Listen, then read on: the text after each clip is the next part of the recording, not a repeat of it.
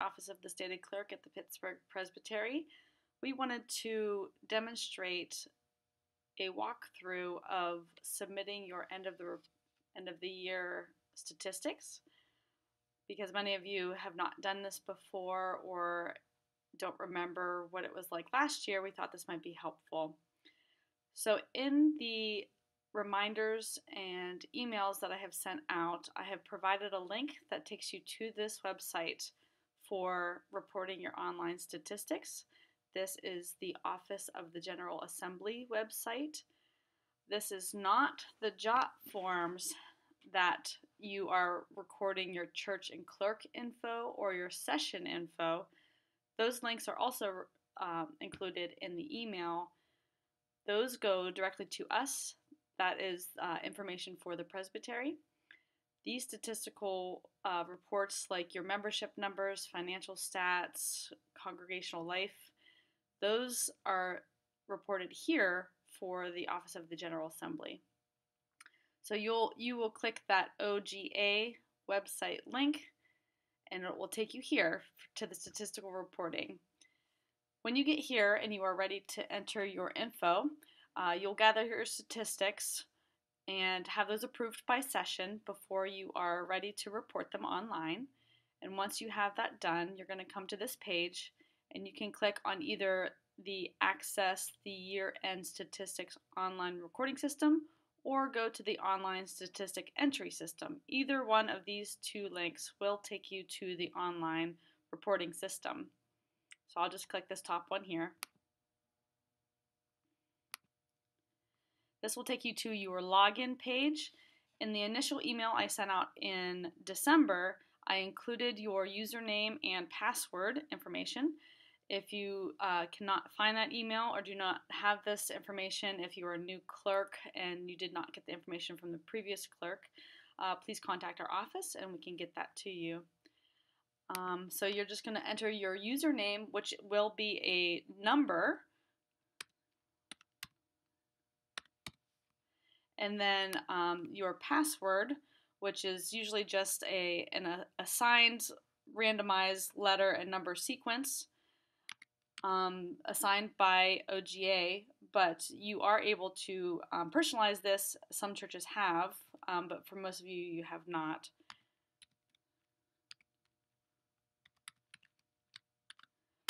And we should be able to log in here. Okay, we're um, this is uh, just uh, for demonstration purposes. We're not actually submitting stats for Buena Vista, but this is what your homepage will look like. Um, so this will have your mailing address and any addresses that we have on file for you and um, the name of your church, of course. Um, so this is your church page. But the, the when you're getting ready to enter your statistical um, numbers, you're going to um, go to the statistics question tab right here at the top. And this will allow you to enter your report. So this initial page is just instructions on what you're uh, what you're inputting, um, and there's some general questions right here on whether you should contact us at the presbytery or whether you have questions that should be directed to OGA. And if uh, a lot of these questions are already answered on these fre this frequently asked questions link down here. So if you come into some sort of problem, you should check here first to see if there's an answer on the frequently asked questions page. When you're ready um, to input your statistics, all of the different statistical information pages are up here. Each one is separated. So you see membership stats, congregate congregational life stats, racial ethnic stats, financial, and finally submit. Um, so the submit stats button, uh, when you click that button, um, that will close you out for the year. So you don't want to click this submit stats button until you're completely done entering all of your information here. Um, before you click the submit stats button, you can enter information in these each one of these sections and log out and then return later to update or change the information should you need to. And then when you're when you're satisfied that you've gotten everything right, you can click that submit stats and close yourself out for the year. Some people like to do that right away. Some people like to not do that uh, until close to the deadline just to make sure that they got everything correct. So let's get started. So we're going to click on membership stats first, since that is just the first um, title there. So here is where you're going to enter your membership stats. Your beginning membership uh, is automatically going to fill in your number that was your ending membership from the previous year.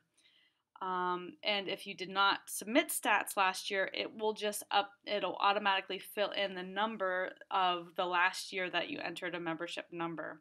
If for some reason this number is not correct, if your membership had changed between um, the end of the year report last year and this year, you're going to click different beginning membership and you can and enter that number here. Um, so that's only if your starting membership is different than um, your ending membership from the previous year.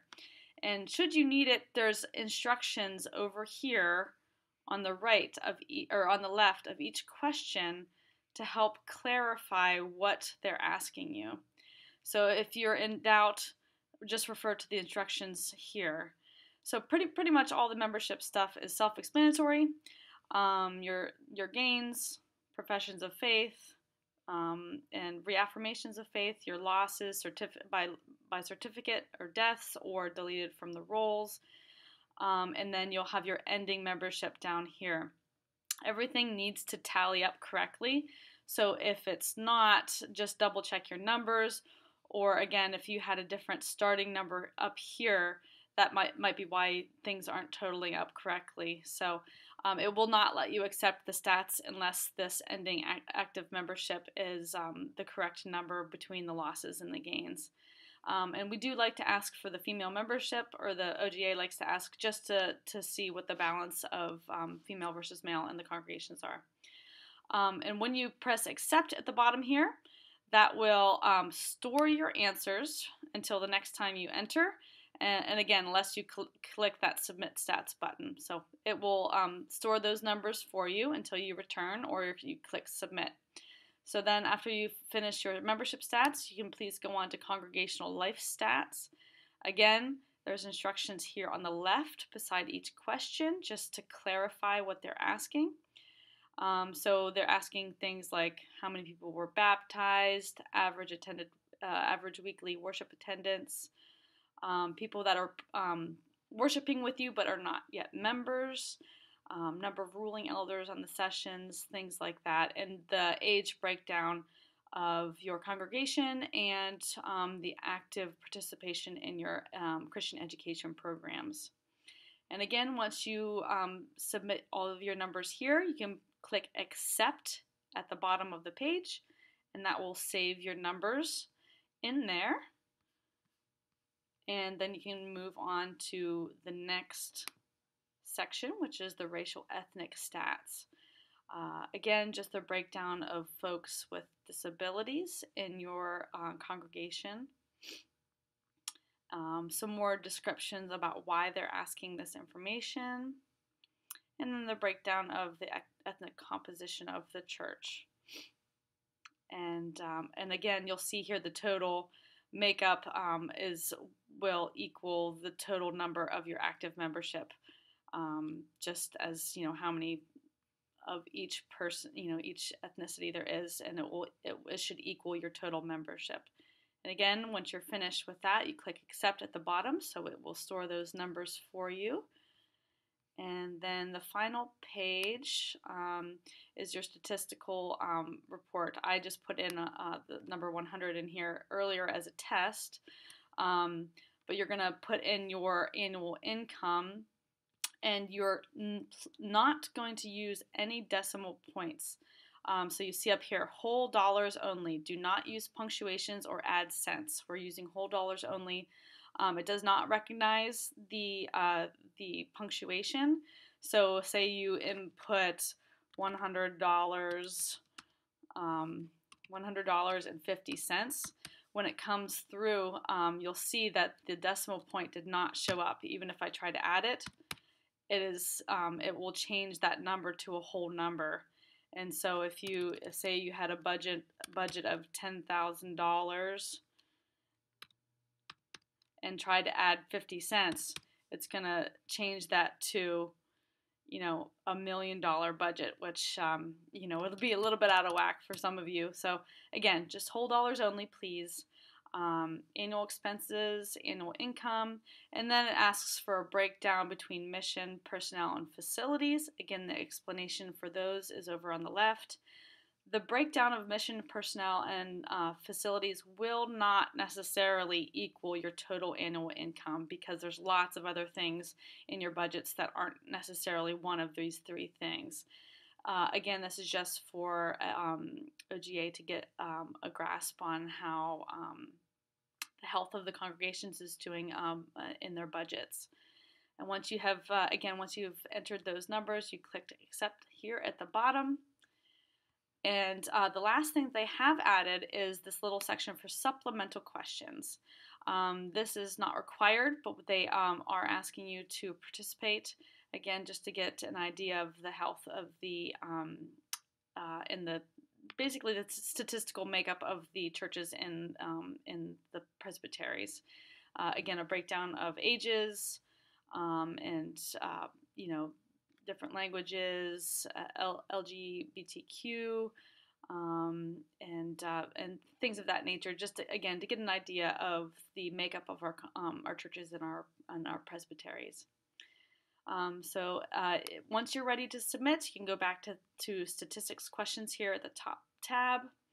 And then you can, um, when you're completely ready to close out, again, uh, you'll hit submit stats and hitting submit stats will close you out. You will not be able to get back in after that to make changes and then you'll have to contact the presbytery um, to go in on our side and help you make those changes. So again, don't click that submit stats until you're completely ready to close yourself out for the year.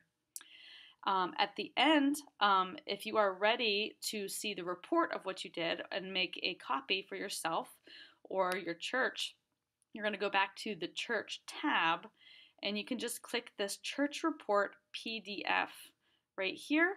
Once you click that, it will download a copy for you and it should pop up or um, it will uh, it'll go into your download file on your computer and you should have it there and you can be able to save this on your computer or on the church's computer or print it out for your records. Uh, another way you can do this as well is to I'll X that out. You can also go to reports here on the, so we're on the church tab over here on the right. You can click your reports